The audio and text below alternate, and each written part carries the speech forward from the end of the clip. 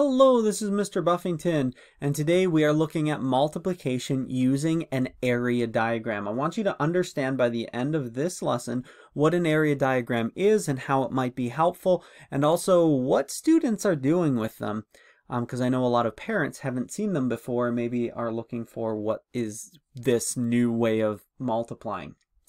First off, area diagrams are just a visual way of showing multiplying. They're typically used or starting to be used with two-digit multiplication. And I want to give some background on why we would use an area diagram for multiplication problems. So here is a rectangle, and if you're asked to find the area, what you can do is draw in a bunch of squares and count all of them, or you can use the easier way, which is multiplying. 4 times 2, which gives us 8. In other words, area can be found by multiplying. So if we're asked to multiply, we can model it using an area diagram. All right, let's get into actually what an area diagram might look like. Here we go. If you're asked to multiply this question 3 times 12 using an area diagram, here's what you might do. You could either do what we did in that last question and count out all of the squares, but what we're going to do instead is that we are going to actually divide 12 into being 10 and 2. And what that does when you divide each place value is you make smaller square rectangles in this case, and you can find the area of each of those and then add them up. Makes it a little bit easier to, to work with. So let's go ahead and take a look at what this would actually do. It would give us a question of 3 times 10 and also 3 times 2, two separate rectangles. And at this point, you might be saying, holy cow, you've taken one multiplication question and you've made it into two multiplication questions. Why are you doing this? And the reason is that it's easier to do the smaller multiplication questions in your head. So for mental math purposes, it might actually be easier to, to recognize that 3 times 12 is 3 times 10 plus 3 times 2. It might just be an easy way to recognize. So let's talk about what we would actually get here. Would be 3 times 10 is 30, 3 times 2 is 6, so those could go in here. The area of this section is 30 and the area of this section is 6. Remember, that's how many squares we're covering it before, but now we don't tend to draw in all of those squares as we work. So here we go, and then we would add up those two areas to get our final answer of 36. Now, you might have looked at that question 3 times 12 and said, I know 3 times 12 is 36. But when you're first learning multiplication, that one might be challenging.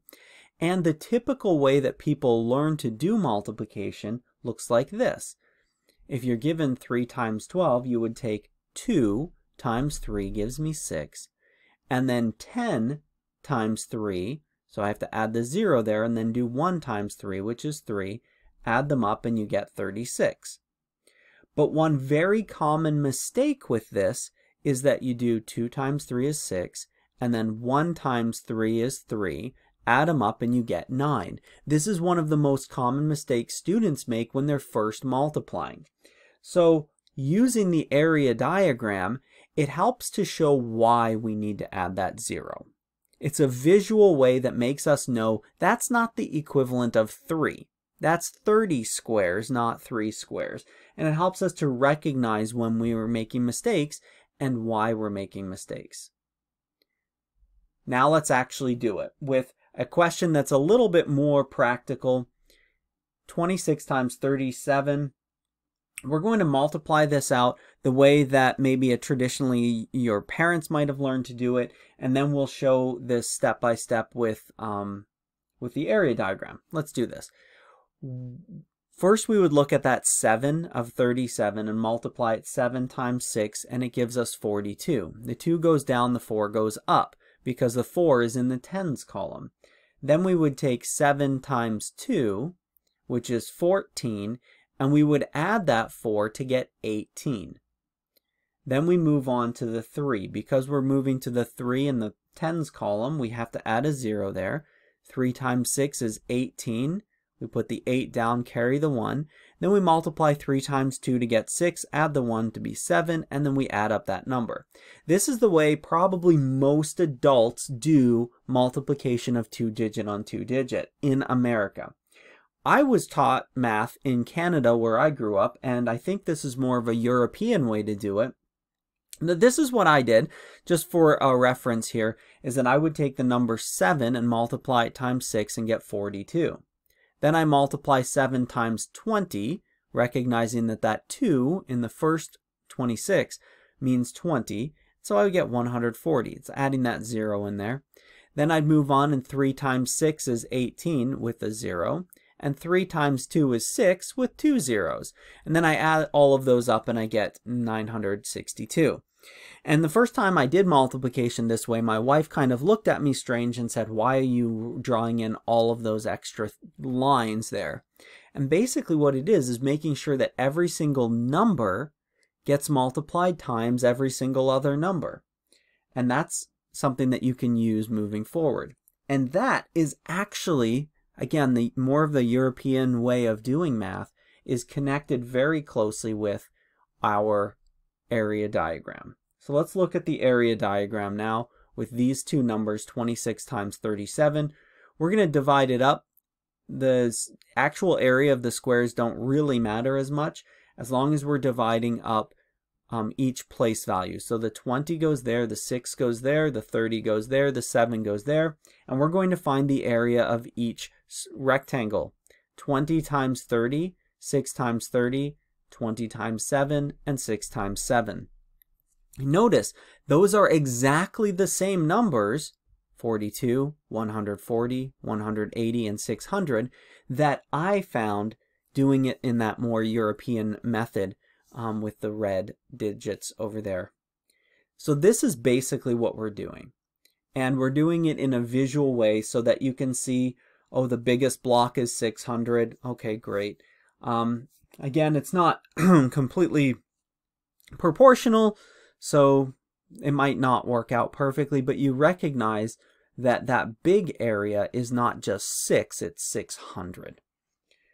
Let's look at another question. Again, we are only using the area diagram for this one. Let's do it. So we have this one, 91 times 78. I'm going to divide it up using exactly the same size of square. I, am I'm, I'm not trying to make it proportional at all. Um, I'm just recognizing that 90 goes here, 1 goes here, 70 is there, and 8 is there. Each box is going to be filled in with the area for each.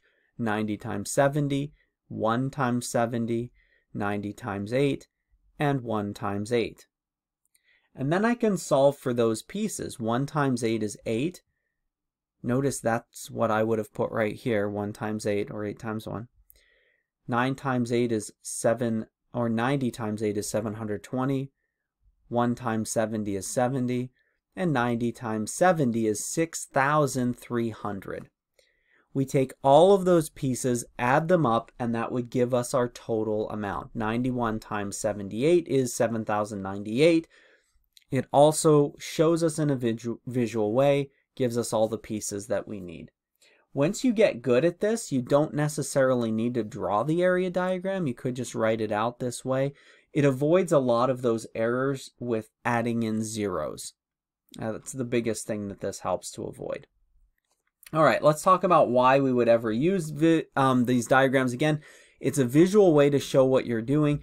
It can help people not miss a step when they're multiplying two-digit numbers. It can help with visual learners, and it's a good way to introduce multiplication um, in two-digit multiplication um, and three-digit multiplication, any multiple-digit multiplication. There are some downsides to these area diagrams, and they're the same downsides that you would find with a tape diagram that I, I indicated in the last video. It is definitely inefficient to draw a big um, rectangle every single time you're doing a multiplication problem. It takes up more space, it's a little bit inefficient, and once the numbers become more complicated and you start getting into variables, it's definitely limited um, in, in what it can do and how helpful it is and how it's just at a certain point using this method almost becomes more complicated than the math questions themselves. So a good introduction. Personally, I don't use it um, beyond when when you start using variables, but I know some people do like this this uh, method beyond that. I hope that that introduction was helpful for you. Have a wonderful day.